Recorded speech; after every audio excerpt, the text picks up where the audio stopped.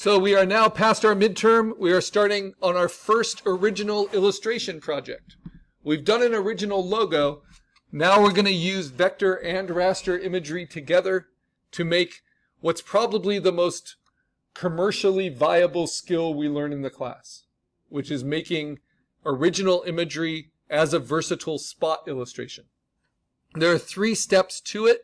One is sketching out your spot illustration idea. The second is getting clean line art that we turn into a vector. And then the third is coloring behind that line art to get a full color spot illustration. There are lots of types of ways to get coloring. So next class will be mostly about coloring techniques. Today is about sketching and getting clean line art, which is called digital inking. Sometimes when you digitally ink, the black line art by the end of coloring turns into its own color. That's called a color hold. And you can see with see it with this past student example. The blue lines were black lines before. Sometimes they're just left black. Sometimes they're thick like you see here. Sometimes they're thin like you see here. But they're always going to clean it up. We're going to learn a lot with this. The first is understanding what a free-floating spot illustration is and what it means to be original so that you could sell it if you wanted to doesn't need to be covered under educational free use. And we're going to understand the disadvantages and advantages of vector digital inking versus raster digital inking. And we're going to develop literacy and competency at basic digital coloring, but that will be more next class. Flat color, duotone, hard and soft edge, full spectrum, color holds, and special effects. And then if we have time for this project, and if not, for the next project, which incorporates this project and turns it into a poster, we're going to learn about color separation and making things appropriate for printing at a professional level. Let's look at some examples. So a spot illustration is something like a t-shirt graphic or a sticker. I'm going to pass around some examples. This is my favorite character designer. His name's Sean Galloway worked for Marvel. He's worked for DC. He's he, he was the art director for Spectacular Spider-Man, that animated series. Uh, but he has license to do fan art, you know, licensed fan art for all kinds of things. So he has like He-Man, Teenage Mutant Ninja Turtles, all of that. You can see his stickers on one side, then you can see how he composites those together on the back. So whether you're doing character design like Sean Galloway does, or whether you're doing uh, something political or doing something narrative or doing something symbolic, like you'll see in that American Illustration Annual. This is kind of a combination of both. This example, you want it to have a compelling silhouette because it's a free floating shape. So this was before Vladimir Putin um, and Russia occupied Ukraine. But this is um, just an example of character design doing a caricature of that Russian leader, and it's a play on the words Putin on the Ritz, right? So you have Putin as kind of this He-Man figure stomping on a Ritz cracker. Okay, this example, you can see just a blurry pencil sketch, and then the clean line art really cleaned it up. And then the coloring ended up not just filling in coloring behind the line art, but actually replacing the black color of the lines with color itself. That's called a color hold. And if you look at Putin on the Ritz here, you can actually see how the outline is actually a dark brown color instead of black. So that's a pretty common change. It can be kind of badge related. It can be like an emblem. It can be a monster design like this werewolf. I like this example because this student used a really thin line art, a lot like animation. Animation tends to use a thin technical line so it can match frame to frame very easily, whereas print illustration tends to be more gestural like this, thick and thin lines. This one uses full spectrum coloring rather than just duotone flat coloring. This one is a clever idea for doing a character design as a spot illustration. Instead of doing the full body, like this or like this, they're just doing the portrait, but in order to make it an interesting silhouette, they encapsulate that in a circle. Right? So again, we don't want any just squares or rectangles. You want the shape to be interesting for a sticker or for a spot illustration. That's going to make for, for better use. All right, this has a third step, which is called color separation. And we're going to be learning that in the next two assignments, how you can separate it out for, for color printing. And then there are lots of examples because this project is a favorite in the class because you get to do whatever kind of content you want and when you look at the student examples, you'll see just how all of these are turned into spots. So this is just a head, kind of a zombie head. And then notice that they choose very particularly the shape that's most interesting, right? Even though it doesn't have a neck or a body. They're not just cutting it off with a horizontal line. They're finding a free floating shape. Same thing with this snowman. Free floating shapes. Same thing for this Fiesta illustration. Same thing for this illustration of Pisces. And once you make your full color spot illustration, then we will have the ability to put it on t-shirts, to put it on pillows, put it on a variety of products. And if it is not fan art or someone else's intellectual property, but our own, then you can actually sell it to the public as well. So here we have some fan art from an, an indie game called uh, The Book of Isaac, I think.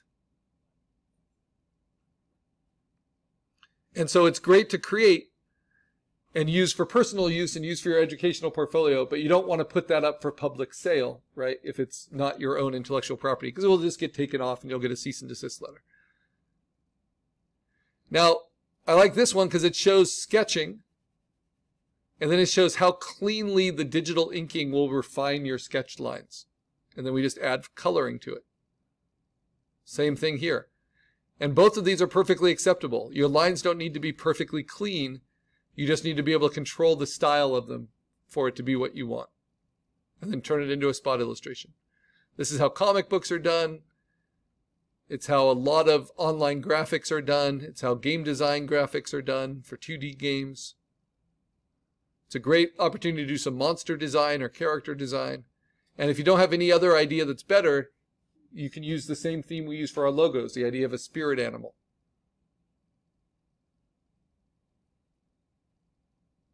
Okay. So, it also doesn't matter what your drawing style is. By going through this technique, we're going to make them look more professional and clean. So if this is your drawing style, once we change it into digital inking, it's going to look very uniform and clean, and then we add color to that. And then this is a good example of, like Arturo Herrera did with Disney back in exercise one, taking intellectual property that's someone else's. So this is from Don Bluth and from 20, 20th Century Fox's The Rats of NIMH animation, and then modifying that character, kind of turning into a zombie that's dripping, and then this multicolor job. So that's transforming it into their own work. So lots and lots of examples. Boom, boom, boom. Now, the other reason to really pay attention to doing something you like for this is this is a really good project to print for the, the annual student show. Annual student show submissions will be between April 8th and April 11th. And whether you decide to submit your spot illustration, like this is one that got into the show and then got purchased,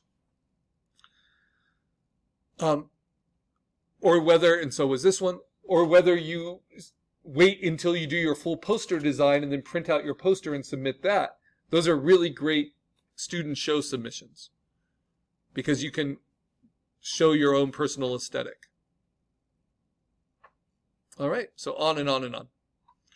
It's about making something versatile. And then let's see, it can be turned into a scarf.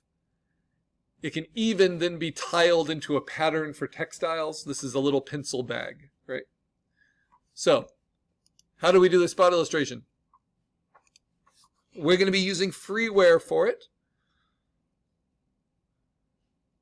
But we need to start with line art. And your illustration can be as detailed as you want but we need to be able to turn it into black line art first. So if you're going to do shading in the black line art, you can do it as stippling or as hatching, or like you did for your logo, you can just simplify everything into solid shapes. Or you can do a combination of several things. But that black line art is going to come from your sketch. I'm going to show you how to do that digital inking today. And then next class, we're going to start adding color behind that line art. First with flats, then separating the flats into lights and darks, and then having the option of adding full spectrum color, color hold, special effects, and then learning about color separation. Here are a few different professional artists doing this process for different projects. Um, David Sossella, you can see his work on Behance. But he does this fully rendered graphite sketch first, and then does the line art as a vector, you can see it there, and then just uses the shading from the sketch to inform the, the shading of the coloring. And this is duotone hard edge coloring. Past student example, it's always good to have inspiration. So, my inspiration is I want to do kind of a spirit animal again. I'm thinking like school spirit. So I'm going to take the, the Nico, the Nighthawk mascot of the college. And I'm inspired by some of these illustrations of the feathered serpent, bless you, which was my logo design. And mostly I like the line quality and the coloring palette of this one. This is flat color. This is duotone hard edge. This is duotone soft edge. You know, so we're going to learn the differences between all of these. But it has to start with a sketch. So I just did a little pencil sketch. My idea is to do Nico as kind of a breakfast cereal mascot character. And then I just take that pencil sketch and I clean it up in Photoshop or in Photopea for us to be a little bit cleaner. And now I need to turn that into clean line art. So how do you approach this? Well, let me just take my rough sketch. I'm going to put these into my folder. So I recommend everyone start an assignment 5 folder. I'm finished with assignment 4 now, finished my logo.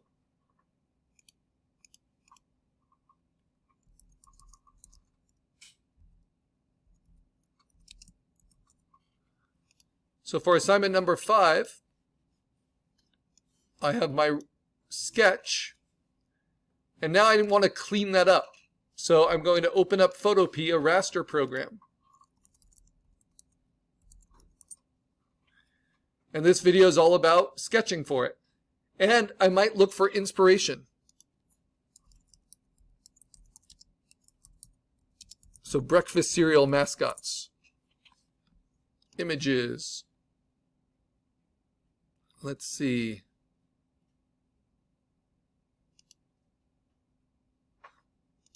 The cartoon characters. So that one looks like a good example. This one might be a good one to, to take color palettes from. This kind of thing. They're all pretty clean. They all use pretty minimal inking and pretty thick lines.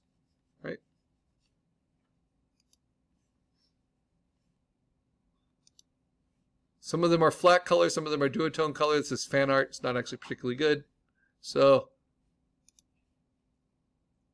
this one looks more licensed. But it might just be a composite. And so you can see some of the variations, right? So inspirations. It's always good to have inspiration, though it's not a requirement. I'm going to put that into my folder as well. And I like this one because I love stickers. So how do I make this match the finish of this? Well, I need to have clean line art. And then I need to pick colors that go behind it. So if I open it in Photopea, I can start to clean it up a little bit.